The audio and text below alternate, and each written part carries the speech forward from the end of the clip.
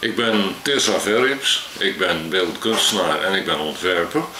En ik heb er ongeveer, ik denk wel bijna drie jaar over gedaan om het glas wat ik hier nu in mijn hand heb en wat, waar een klein beetje wijn in zit, om dat eh, gemaakt te krijgen. Het ontwerpen op zich is niet zo'n probleem.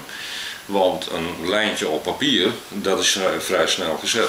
Maar wanneer je een glas wil maken met deze vorm, dus zeg maar met deze prachtige druppelvorm in het midden, waardoor het walsen van de wijn veel beter gaat dan in een normaal glas, en zeker voor een amateur, uh, waardoor het boeket ook veel beter tot zijn recht komt, uh, dan kun je je voorstellen dat dat heel lang heeft geduurd voordat dat überhaupt te maken viel.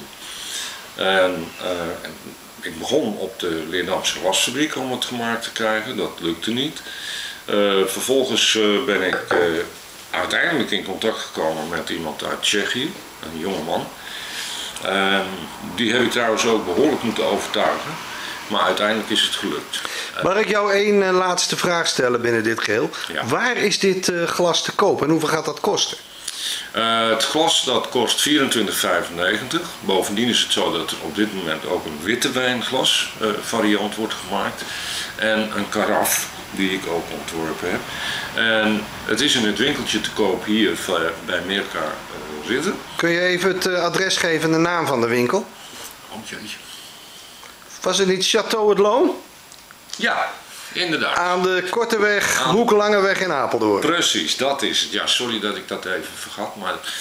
Uh, Galerie Zaai, daar heb ik uh, ook uh, een paar glazen neergezet, eigenlijk gewoon om te testen. En wat is het adres van Galerie Zaai? die zit in de Asselse straat, tegenover de wijnwinkel van Henry Bloem.